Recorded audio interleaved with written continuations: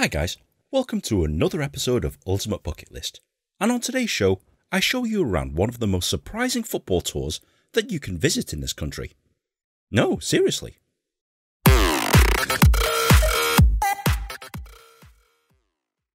Wolverhampton Wanderers, more commonly referred to as just Wolves, they're one of the original members of the Football League and one of the oldest professional teams in world football. Currently flying high in the Premier League, it's a team steeped in history and tradition, and they've been playing here at Molineux Stadium longer than most teams have existed. Built in 1889 with a current capacity of 32,050, don't let that small capacity fool you. This stadium is massive, and a tour of the place comes highly recommended. So when you get here, I highly recommend that you park up early and have a walk around the stadium. You'll probably come across this place first, the north side of the stadium known as the Stan Cullis stand. Named after their greatest manager, Stan Cullis, you can find a statue of him outside, and this is home to the Wolves Museum and the Wolves Megastore, which we'll go into later. It's also home to Wolfie's Den, which I assume is some kind of kids play area, and you'll also find the ticket office on the northwest side of the stadium. A season ticket waiting list for this place? Wow. The west side of the stadium is known as the Billy Wright stand, named after one of their greatest ever players, Mr. Billy Wright.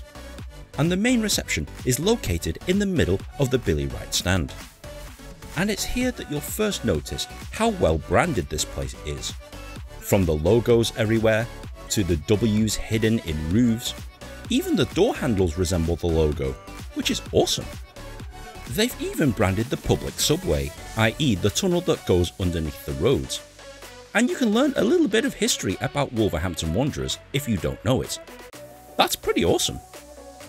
Speaking of subway, this leads to the Sir Jack Hayward stand. You'll know you're there because there's a big giant statue of the man himself literally outside.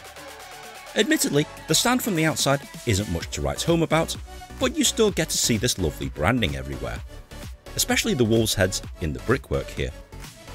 From the outside, the worst looking stand is possibly the Steve Bull stand. I'm sure it's very lovely inside, and this is where the executive boxes are, but from the outside, it kinda looks like an old council building that hasn't changed since the 70s. You'll probably also notice the memorial wall where people have their names engraved on bricks, and the TV crews lining up outside to set up for tomorrow's match.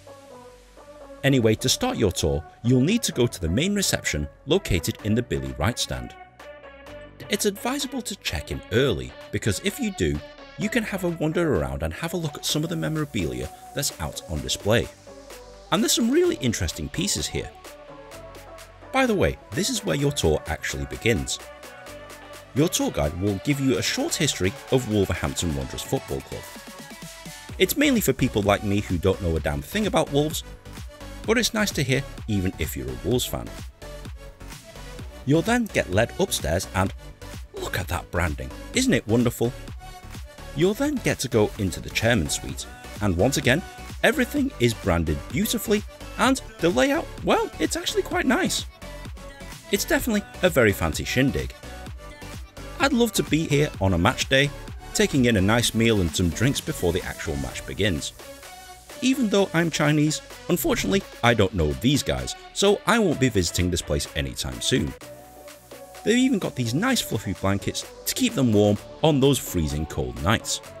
And they're beautifully branded as well.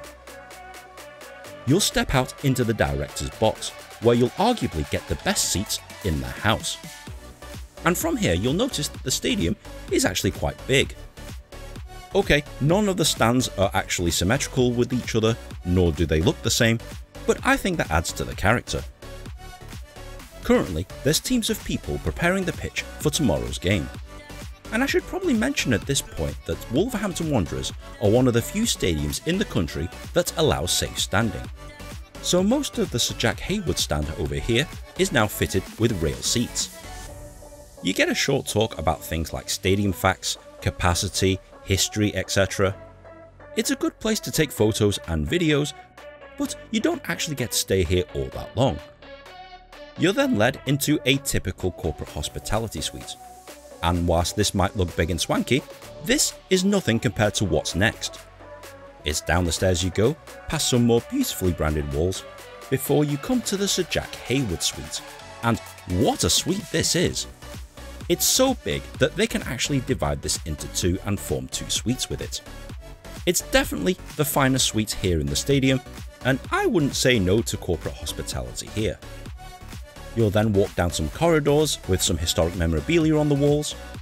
You'll go past Billy's boot room, which unfortunately has some kind of conference going on in there, before you get led into the press conference area. And once again, it's immediately obvious that the branding is pretty much A1. Look at that branding right there. So this is where all the press conferences happen. It's a decent opportunity for photos and videos right up here on the table. You get a short talk as to what goes on here on a typical match day.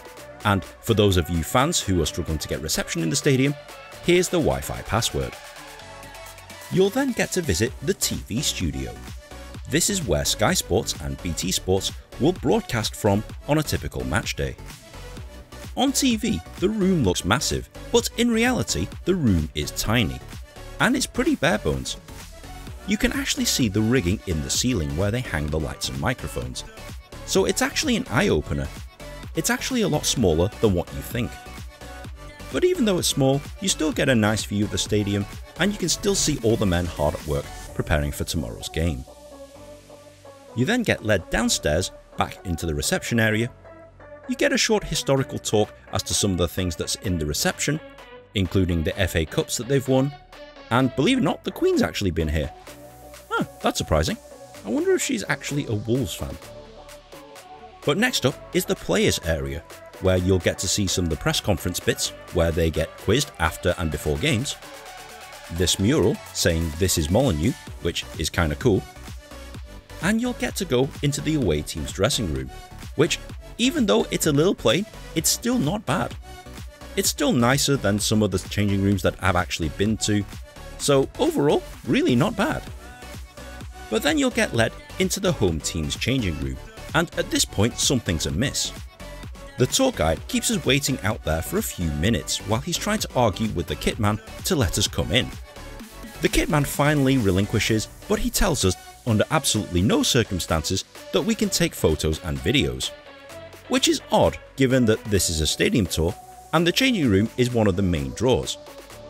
So if they had things like team sheets and tactics out, then yeah, I can understand why they wouldn't let you take photos and videos.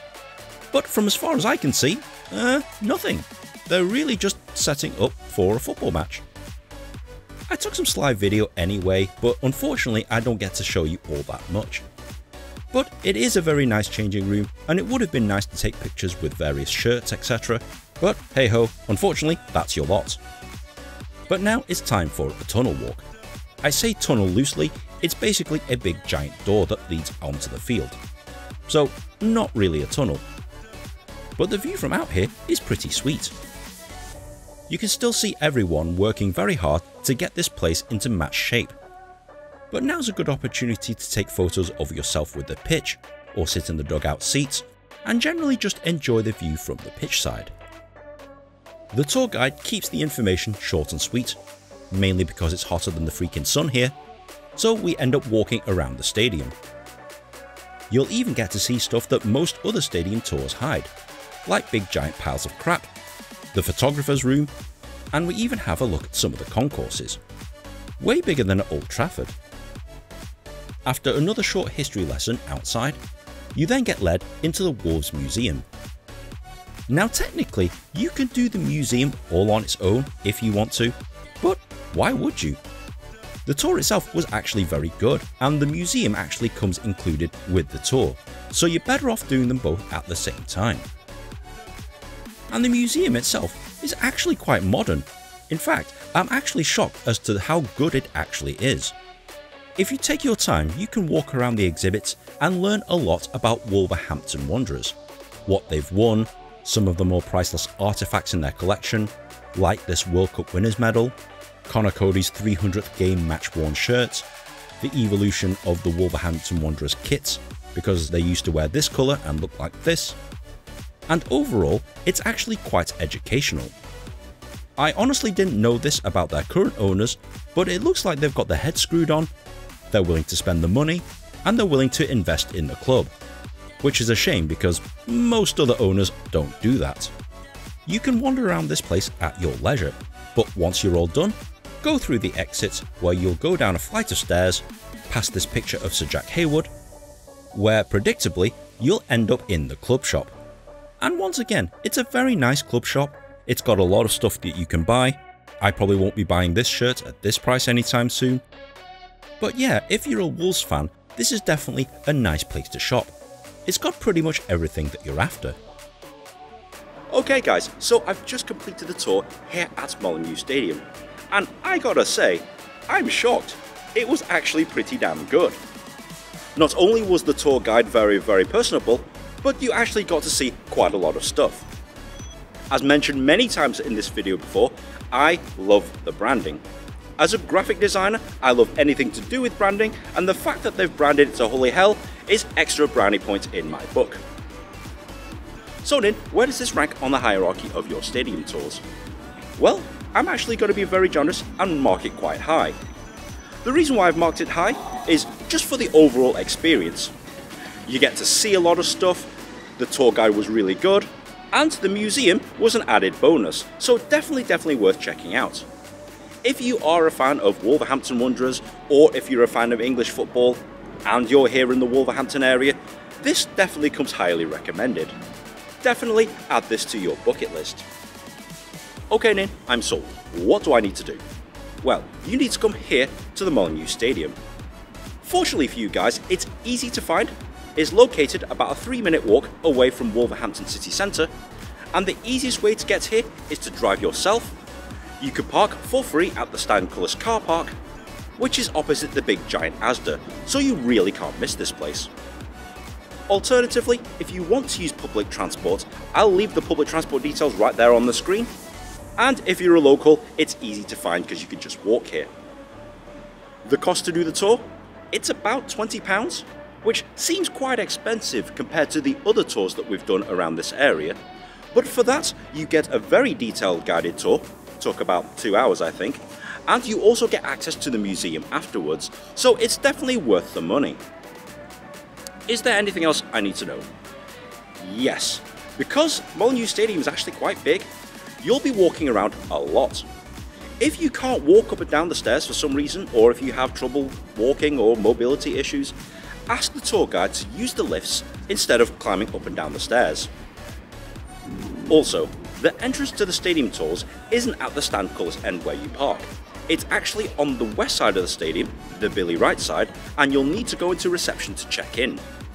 Ideally, you'll need to check in about 5 to 10 minutes before the actual start time. And apart from not being able to film in the home team's dressing room for some reason, can't imagine what that reason would be, you got to see pretty much everything that you would want to see out of a stadium tour. So it definitely comes recommended, and if you are at all interested, add this to your bucket list. If you have enjoyed this episode, please be sure to like, share and subscribe. Comment on that comment section below, and if you've got any other bucket list ideas, you know what to do. If I get enough suggestions, I'll go ahead and do that. But guys, thanks very much for watching. From here at Molineux Stadium, we'll see you in the next episode. You got to see a lot of stuff, You've got to... And if you are here at this... And if you... The entrance to the stadium tours isn't at the front isn't at the stand